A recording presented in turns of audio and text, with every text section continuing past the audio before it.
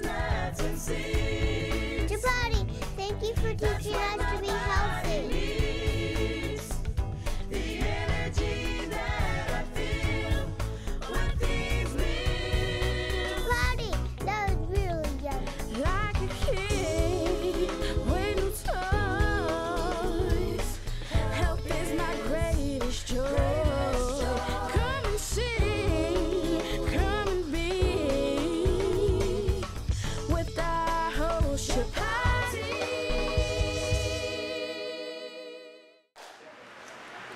Welcome back to Food with Life. I am your host Chapati, and we're here at the Alchemy event in Los Angeles, California. As we say, each guest is very unique, but this one is a very, very unique man. Very unique. His name is Bennie LeBeau, uh, or Rainbow Thunderheart, from the Eastern Shoshone Nation in Wyoming. And I tell you, he has much for us to learn and much to help us with. Welcome. Nice to have you here. Thank you, my brother. Very nice. Happy to be here. Yes. So tell me, I know the uh, American Indian nation is very powerful for healing. Tell me a bit about yourself and the aspect of healing, the forces, the energy of forces at work here, in medicine wheel, all these aspects, and how can they help mankind? They can help mankind become conscious to the facts that they are asleep. Once we clear these energy force fields within the electrical magnetic energy of the elements, which are known as the web of life, that they awaken from a deep sleep because the vibrations that are in the strings of light, known as the matrices, once we clear them and clean them, peace will return because we clear the old programs that keep spinning is 500 going back to 1200 26,000 years of vibration that's still replaying that turns each other against each other and that's why nature's out of balance in a way and so with these medicine wheel ceremonies they provide a way for healing to take place for the planet and also for the people hmm. because remember we are made of the earth earth wind fire and water elements Yes, yes. so that's why we say we're all related to all that it is. Whatever we do affects everything. Every word, every thought, and action is recorded in the electromagnetic energy force fields of the elements and replays. So there's good things that get recorded and replay and negative things. So they're not at the same frequency. So what that does is causes horrendous weather patterns, earth changes, um, all kinds of things that's happening, uh, viruses, illnesses, sicknesses. So with these ceremonies, these are the way that we were once taking care of the environment with a, a people who checked on the energy from ancient times, traveled up and down North and Central and South America to keep the energy reharmonized when it got deharmonized by warring or fighting, or star nations coming in with negative sounds and vibrations to control humanity. We were here to keep the energy balanced. And so there's a lot of things that took place in history because we are from the stars. These are our, our stories. So, when you say you're from the stars, you meaning men, all men are from the stars, or your particular Indian group?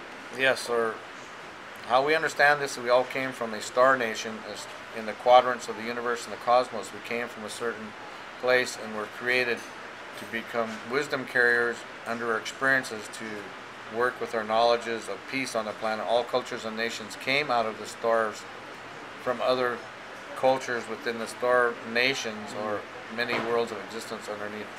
So I'm wondering, you know, you think about coming from the stars and all this. Um, how can someone like uh, someone who's down to earth, so to speak, take advantage of the wisdom you have to offer? So it's prophesied that the red nations in America, known as the Native American cultures Yes. that are native to the Americas, North, Central, South America, would bring back this ancient wisdom that would teach that we are connected to the stars. All cultures and nations came from different quadrants. We have these knowledges of where all cultures came to the planet. There was 12 major, there were major 12 of those cultures that came here, 12 major nations. And then they splintered into 144, and then they splintered again to 144,000. But these are the foundation of the DNA of all of humanity. So So they, they were the, the one of those 12 Yeah. that was these individuals of, or groups of beings who came to start colonies on the planet. So these were from the American Indians Yes. group, and people form, came down or whatever into this clan sort of. Yes, we still have these stories of where we came from, our creation stories that talks about the, how creation began and how we were all created upon the planet. All right, we're going to touch more on this um, in detail because I want to find out uh, about the ceremonies and the healing value that your wisdom has. All right. Okay. I am your host Chapati. Stay with us. We'll be right back with our very special guest, Mr. How would you say Bennie Lebeau? Daniel Bull, known as Rainbow Thunderheart from the Eastern Shoshone Nation in Wyoming. Very good. Thank you. We'll be right back. Stay with us. This is Food for Life.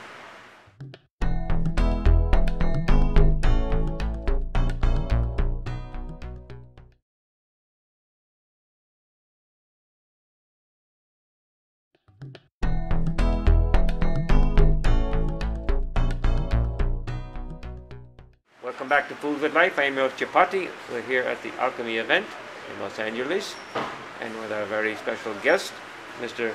Bennie LeBeau from the Eastern Shoshone Nation in Wyoming. So we were touching a bit on about um, the ceremonies, ways that uh, for healing that not only ourselves but for mankind. Give me some wisdom here. There's been dreams and visions about healing the elements through what I've had and what my ancestors have had before me, seven generations back.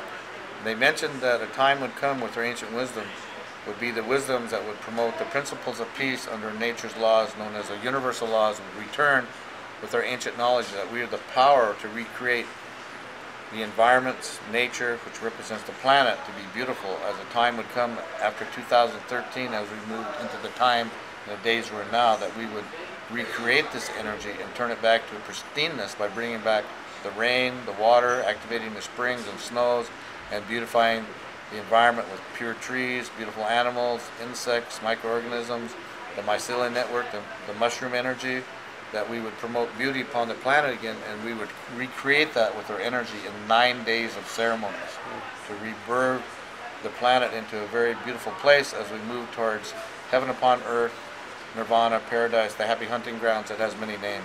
Mm. Is there any, uh, when you do these, are there any sacrifices that occur?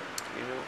The only sacrifice is time and effort from humanity would show up. The time of sacrifice is over. No bloodletting, no pain.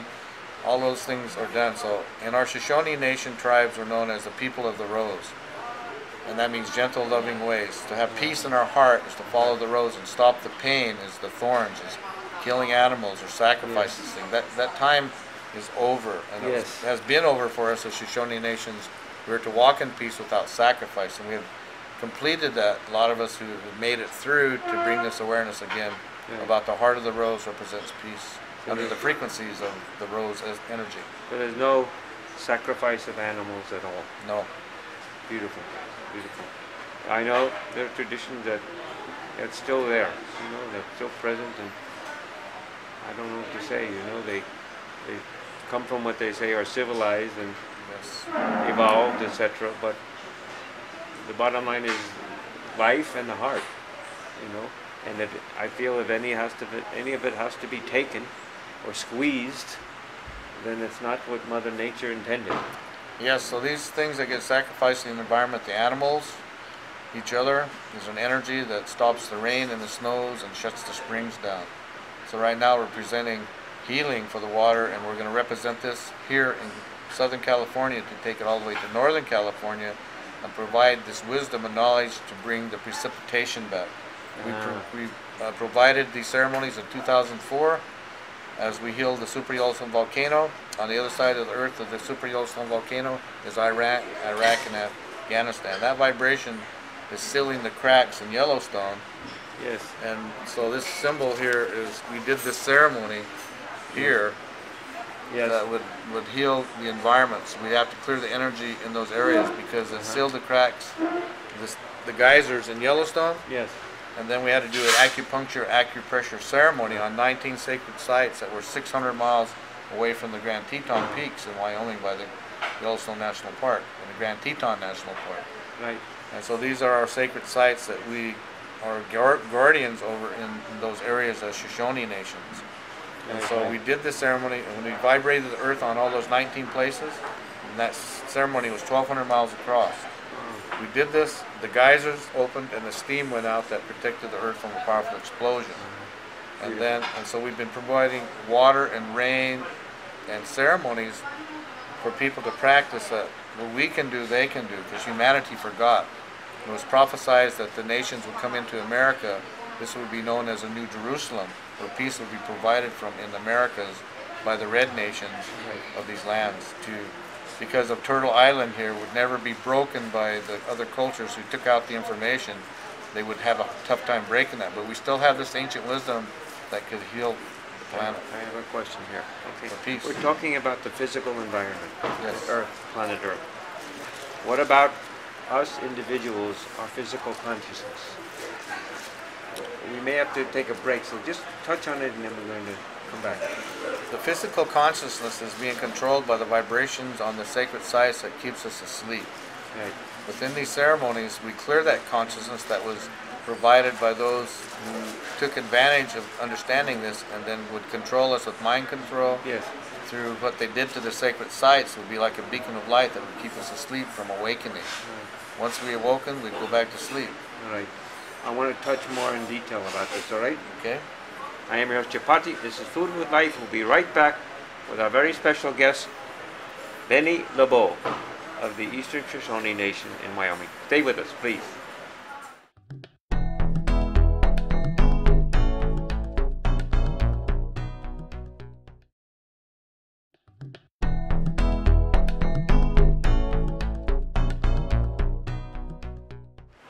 Welcome back to Food with Life. I am your host, Chapati. We're at the very special alchemy event in Los Angeles, California, and we're talking with a special uh, American Indian healing and divinity. Very nice to have you. I'm really happy to be here with this information. Bennie LeBeau, wonderful man. So we were talking a bit about, you know, we're talking about physical, but now we're talking about internal and the psychological benefits for individuals. How do these uh, ceremonies, medicine, medicine ceremonies, what, whatever it might be, how does it touch our physical consciousness, our heart, and our mind? For over 5,000 years plus, mostly everyone has been imprinted by negative thoughts and emotions that separated each other. And a time would come when we turn against each other because all the energy that was replaying would get, become so terrible that we would turn against even ourselves. We would turn against each other. And this would vibrate and get recorded in the environment and replay in history. And then there would be World War III.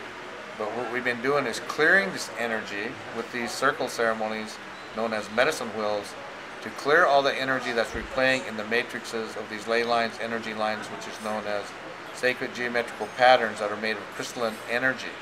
We're all made of crystals because it's the prisms of light that we're all made from because we're humans, human, made of light, that we are the ones that would awaken with this ancient wisdom of the red nations and especially the Shoshone, which are the Azte- Aztecs, the, the Mayans, and we're all those peoples that came from different star systems of many places, of all cultures, in other words, that this would enhance everyone to wake up to what we could do to provide clearing this energy that has got us replaying, fighting, warring, separation, greed, materialism. That this ceremonies would clear that out of the web, and then through that we'd put the principles of peace back in that represented free will, honor, trust, respect, following our heart's dreams and visions. We would now be in heaven upon earth, nirvana, paradise, that we know as a happy hunting grounds, mm. or those kinds of things. Right. Okay, on a level of practicality, which is this is practical, but I'm thinking more.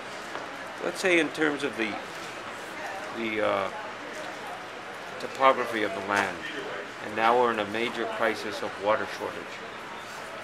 You know, which everyone is experiencing on all the. They say you cut back on the usage of the water and, and all this. How can this indeed flip it around? is to clear this energy out of the matrices known as the web of life. That all the water that's ever been here is still here. It's never left. It could never get off the planet. What happened to it, it's got a lot of negative thoughts and emotions and poisons and toxins on the surface, and the water went into fear because it's alive and it's a being, and it went back under the earth and is hiding and waiting for a time when we'd clear this energy that forced it away. And it's in the sky. And in order to get that back, we would clear these energies that would allow the water to surface. And the springs that fill up, the rivers that fill up, the rains that come back in, and the snows that come back in. But in order for this to happen, there's certain things that we would have to recognize or educate humanity about. The consciousness all over California, because every time we would do ceremonies, they have negative thoughts, and emotions, words, and actions, mining, development, horror, honking, bickering, fighting. That energy gets recorded and replays every day, and then the water will not come in because that gets recorded every day. So the principles of peace are important to understand. If California wants water or any other country, then the principles of peace are important because water is life. And we have one major thing in common on this planet that is really there at the focal point is everyone knows that the earth has something going on with it. And Right, so right. that's what we're here is underneath my organization, Earth Wisdom Foundation, which is a nonprofit, that we're providing a ceremony for the planet. It's equator, the global equator ceremony. Right. 90 degrees north and south is to reset the energy force fields, and we're looking for humanity to support this cause and to go around the earth. So we're looking for sponsors to help us with this water. Hmm. And the planet needs the water, but clearing the energy out of the water that's controlling humanity is the information in the water, like Dr. Emoto spoke about, a good friend of mine from Japan Yes.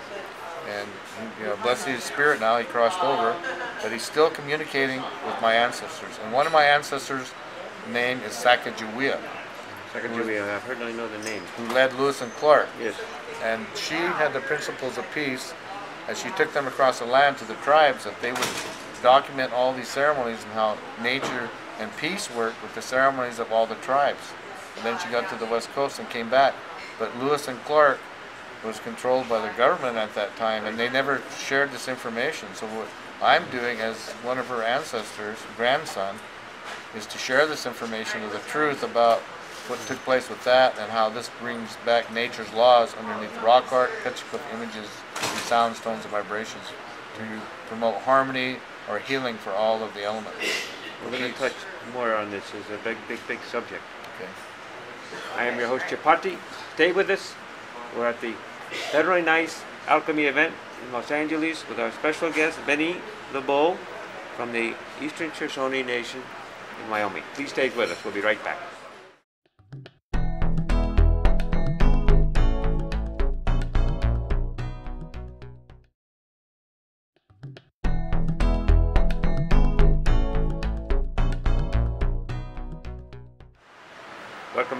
With Life. I am your host, Chapati. We're here at the Alchemy event in Los Angeles, California, with our special guest, Bennie LeBeau from the Eastern Shoshone Nation in Wyoming. You know, we were touching a bit about healing the land and the water situation and all this. And I, it concerns me because uh, it's beautiful knowing about the physical. But I'm wondering how that ties into our, me personally, into my heart. You know, I'm very much learning more about the heart, not the head, but the heart. And to me, that is the, the, the key. That's the bottom essence of what I'm about in my heart. And I feel people in general. But what's your sense on this from your perspective? In order to have peace in our heart is to, for us as Shoshone nations, understand the heart of the rose. To have the heart of the rose means we produce beautiful, pure food to grow, pure rivers, pure, pure soils Yes. for subsistence. We do these circle ceremonies known as the Naraya dances that the white man turned into ghost dances. Ah. These were songs with sounds and to- tones and vibrations that promoted beauty for subsistence. If the animals got sick, we had a song to heal the energy that got out of balance. If the food got sick or the plants needed help, they called to us and said, We need help. Because we could hear the plants, we could hear the rivers, we could hear the mountains, we could hear the clouds. We could hear all that it was and ever was and still can. And we promoted these vibrations and sounds to setting in a circle. And the medicine that we use in the circle is the energies of the heart energy. When you're in peace, you drop the thorns of actions anger, hatred, jealousy, resentment, judgments, pointing fingers, who's right, who's wrong. Stop taking things personal and personally. When you do that, and the energy comes in, and you clear up all these thoughts with you that's promoting us to not like ourselves or others outside of us. And we can do that, then we have the power to recreate any illness or sickness that's taken place, is to bless it and recreate that energy to be beautiful and bright and pure and clean and pristine. Can you give me, give our wonderful audience some particular exercise or some practice that we can do that's from your tradition that we can take home and do on a, a daily basis or whatever it might be? is to to set and calm ourselves and to tell ourselves that at this time I choose to stop taking things personal and personally. I will awaken to my heart's wisdom, following all knowledge and wisdom, honoring each other for each other, staying neutral with all things with my heart, and choosing to pick no one over one another, no organization over another organization, but being neutral and honoring everyone equally for the betterment of each other equally, for the betterment of all that it is and all of creation represents, for the betterment of all things equally. That's the major thing that I feel that's very important for people to understand that, to breathe and to meditate and clear any negative thought and emotion from themselves by making a decree saying, I am this, I am that. This that has been caused me dysfunction is cleared and gone from me now and immediately, and so be it is. I am now free from anger and hatred and jealousy at this moment. I am free of love, peace, and harmony, and so be it is that. I put a prayer in it that that, that is coming from the golden light, the purple light, and charges me full of this power. And at this moment, I say I am that. The whole world is that. Everyone else is that. And when I say that, everyone else becomes it. Because in the beginning was the Word, and the Word turned to flesh. So whatever I would speak, the flesh would turn into it. And the flesh is made of what? The elements. And if we talk about these phrases and decrees, which are known as prayers, then we put these prayers and thoughts into the environment, and the environment shape shifts because the elements are the flesh, and, the elements would shape shift into beauty also. What are the elements? The earth, wind, fire, and water elements that represent, you know, solids and, you know, the wood, the metal, Yeah, right. all the different things like that.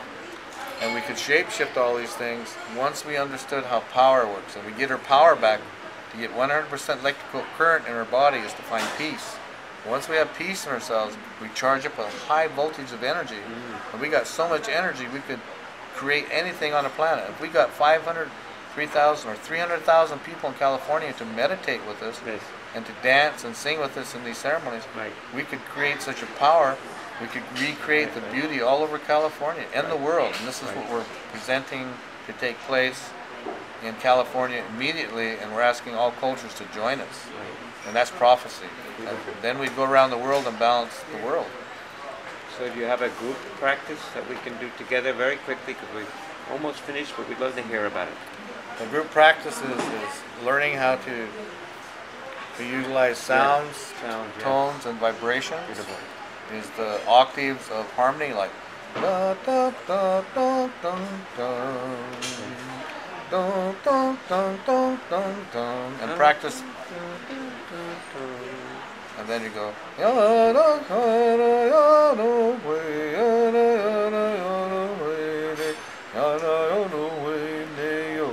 and you sing these songs and the vibrations retune your chakras and your body to vibrate harmony and when you like that, anything that's causing the situation goes away.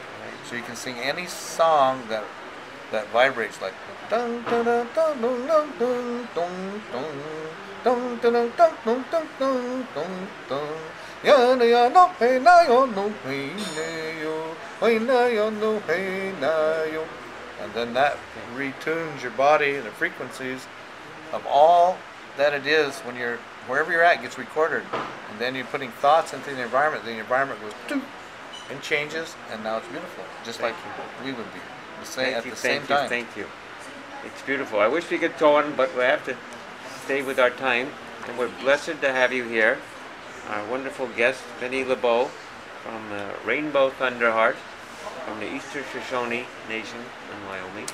A blessing to have you with your brilliance. yes my website is at earthwisdomfoundation.net Okay. and it's about healing Mother Earth's sacred sites mm-hmm. and bringing awareness about the principles of peace. It's what this is represented for all the world, all the cultures, as above, so below, the universes, and galaxies, and cosmoses. So thank you very much for Thank being you. here, everyone out there, and Thank you Thank for you again, being here. Our pleasure. thank you, thank you. I am your host, Chapati. We want to thank you very much for watching Food with Life with our very special guest, Bennie LeBeau from the Eastern Shoshone Nation in Wyoming. Stay with us. Watch again. Be well, be happy, and enjoy. And be simple. Thank you. And I am your host, Chapati. Bye bye.